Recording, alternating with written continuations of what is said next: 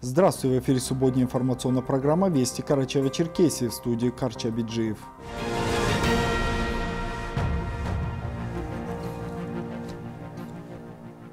Не так много времени осталось до начала отопительного сезона. Как только в течение нескольких дней среднесуточная температура будет держаться ниже 8 градусов, то по сетям подадут тепло. Черкесский подготовка к новому осенне-зимнему периоду стартовала сразу по окончании прошлого в конце весны.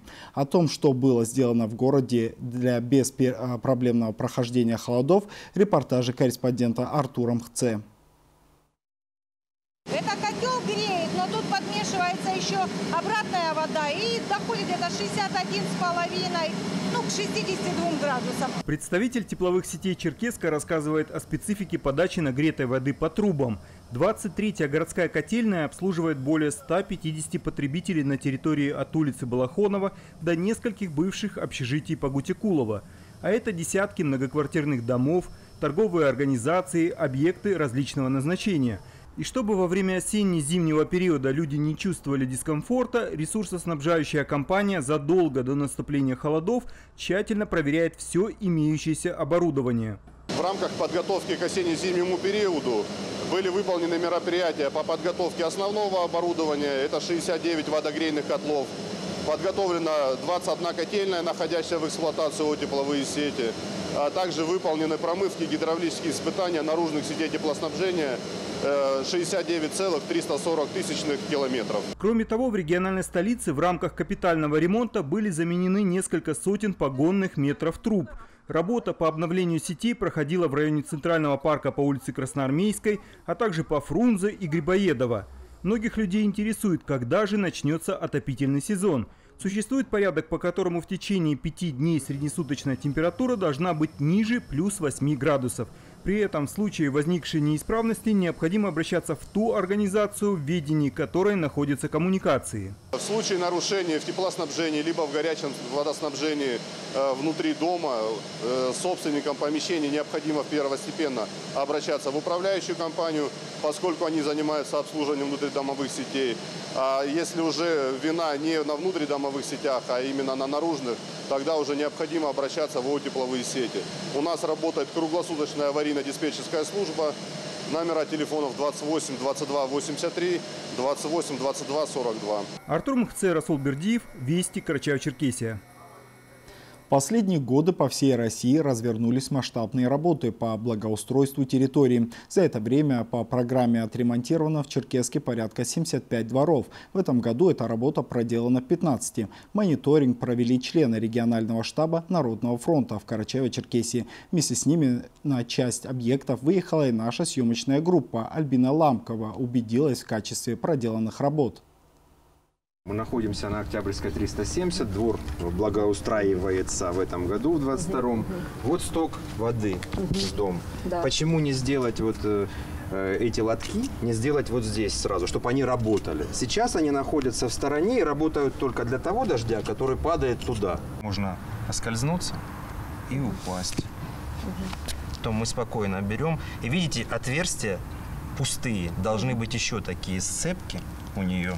Угу. То есть они здесь еще экономят. Детские площадки могут быть разные, но требования для всей страны должны быть едины. Несмотря на очевидную опасность и запрет, устанавливают во дворах вот такие качели. Их в народе называют качели-убийцы из-за жесткой сцепки, хотя по конструкции она должна соединяться тросом, цепью или веревкой. Не нужно быть специалистом, чтобы увидеть реальный результат работы строителей. Недочет Минуты бросаются в глаза, говорит Денис Струговцов. Конечно, свежий ремонт радует, но, к сожалению, недостатки видны, не заходя во двор. Асфальтовое покрытие, не уложенное достаточным количеством смола. Еще один минус. Видите, вот наружу щебень, что впоследствии приведет к таким дефектам, как выкрашивание сначала, а затем уже и к выбоинам. То есть здесь появятся ямы. В следующем дворе по улице Космонавтов 52 столько же погрешностей после ремонта. Акт был составлен и указан указанных в нем позиций не меньше, чем на предыдущем объекте. Они сильно раскачивались. Мы направили сразу письмо и приложили вот, вот такие вот замечания к этому письму. И в ответ получили, что это будет исправлено. И, видимо, вот эти работы – это по исправлению наших замечаний. Важным аспектом программы благоустройства дворов является формирование удобных и востребованных людьми общественных пространств. К сожалению, и этот момент вызвал недовольство жильцов по улице Космонавтов 52. Функциональная зона полезной площади использования дворовой территории уже спроектирована и реализована, и этот факт не исправить. Теперь остается ждать, что указанные в акте недостатки будут устранены. Альбина Ламкова, Мухаммед Ашибоков, Вести, Карачаева-Черкесия. Сейчас о погоде на выходные, а после мы продолжим выпуск.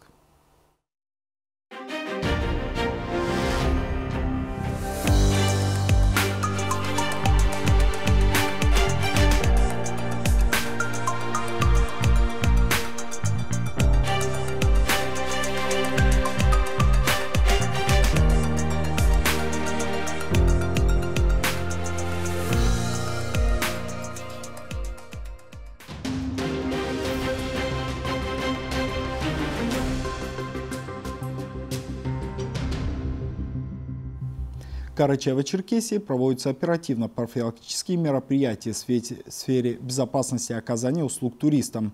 Выявлено 97 административных правонарушений. В ходе рейдов сотрудники полиции обращают особое внимание на техническое состояние транспортных средств, повышенной проходимости, задействованных в пассажирских перевозках по пересеченной местности.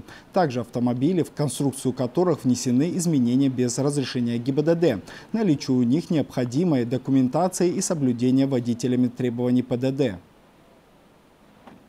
На базе Центра детского развития IQ Kids в Черкеске был реализован социальный проект помощи детям с ограниченными возможностями здоровья. Все занятия проводились на бесплатной основе. В чем основная суть проекта? Как проходили занятия? Какие специалисты были вовлечены в эту работу? На эти вопросы нашему корреспонденту Белли Джазаевой ответит организатор проекта и основатель Центра детского развития Зухра Токова.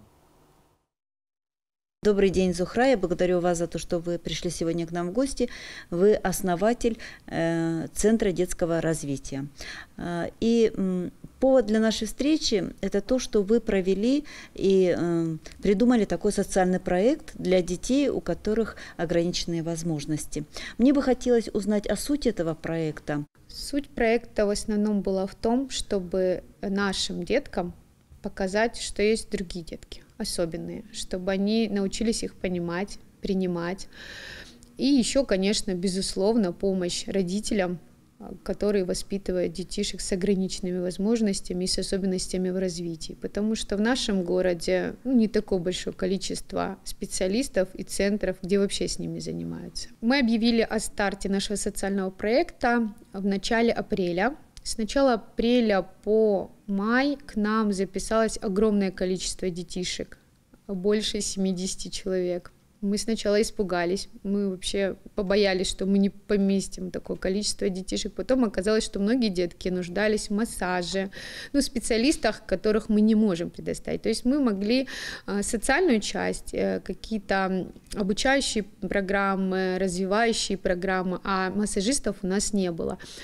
Вот. И в итоге мы пригласили к себе более 30 детишек. Более 30 детей прошли у нас э, два месяца подготовку к школе. О начале проекта мы объявили даже в марте мы объявили в марте, и до начала социального проекта к нам записалось более 70 детишек. Конечно, мы сначала испугались, что мы даже поместить их не сможем, но в итоге оказалось, что многим родителям нужна более специализированная помощь. Массажи они просили, то есть у нас не было, мы не медицинские работники, мы могли только развивающую часть предоставить. В связи с этим все равно более 30 детишек у нас осталось.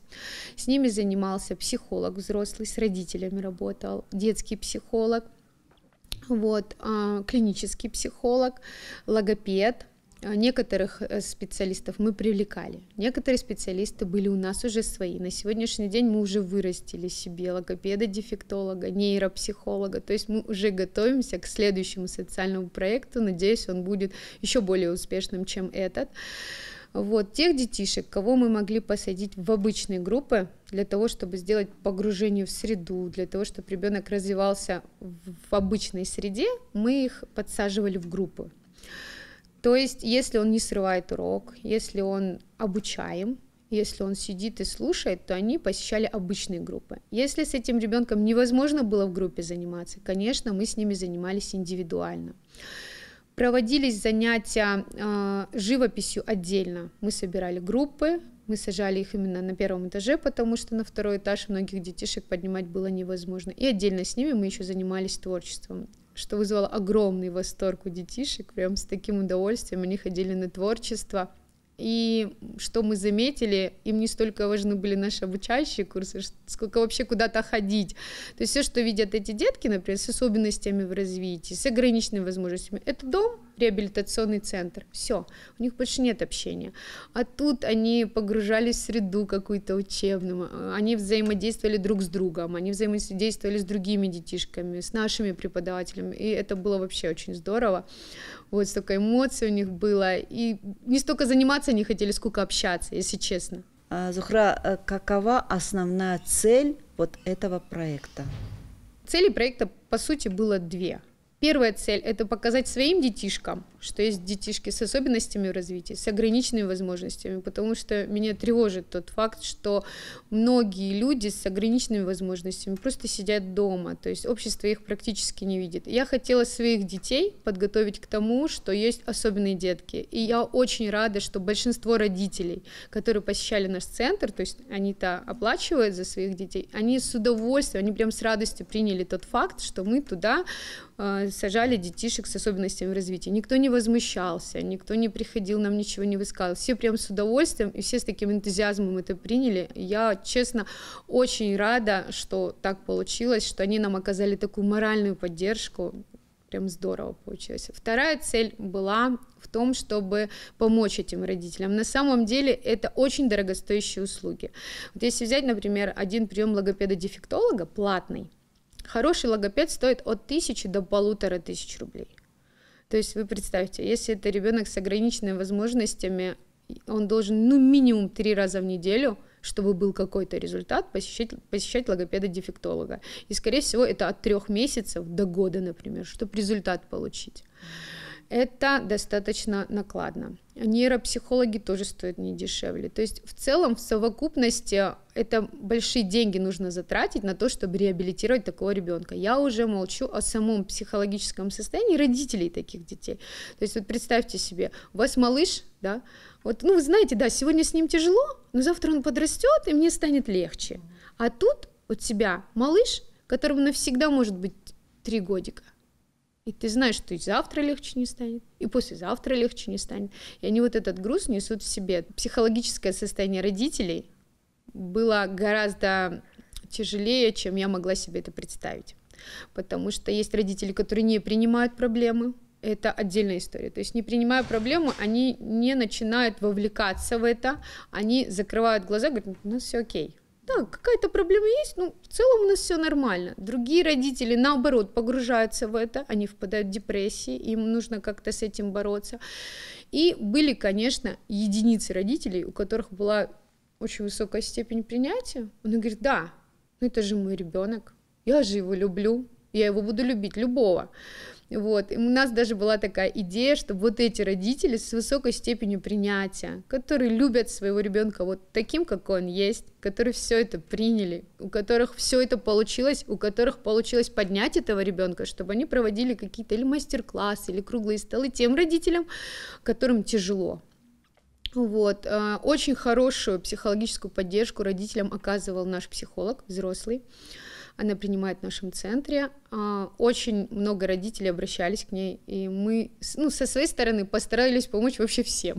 И родителям, и детям, и бабушкам. Ну и последний вопрос. Куда можно приводить деток? Где вы находитесь? Один центр у нас находится на Фабричной 134, второй находится на Ленина 50. Социальный проект мы сначала планировали в одном центре, но в конечном итоге из-за загруженности центров нам пришлось делить. В итоге какие-то занятия проходили на Ленина 50, какие-то занятия проходили на Фабричной 134. Ну что же, Зухра, я благодарю вас за интервью, желаю вам успехов в вашей нужной и важной работе. Спасибо вам. На этом субботний выпуск «Вестей» подошел к концу. Приятных выходных и до встречи!